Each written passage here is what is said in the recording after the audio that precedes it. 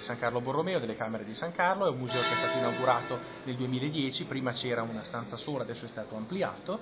e eh, la caratteristica è che eh, esso vuole essere una, così, un, un, insieme di oggetti che fanno parte della tradizione del culto che lega Corbetta al suo santuario. Eh, l'elemento più importante è sicuramente la camera di San Carlo, che è la stanza da letto che San Carlo Borromeo utilizzò durante la sua permanenza a Corbetta in tre occasioni, nel 1570, 76 e 78.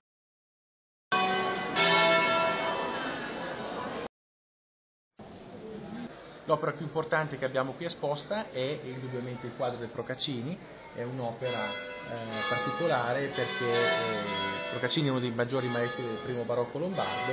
e quindi questa è, una, è un'opera sicuramente importante che ha condizionato tra l'altro la sistemazione dell'attuale, dell'attuale museo nel 2010.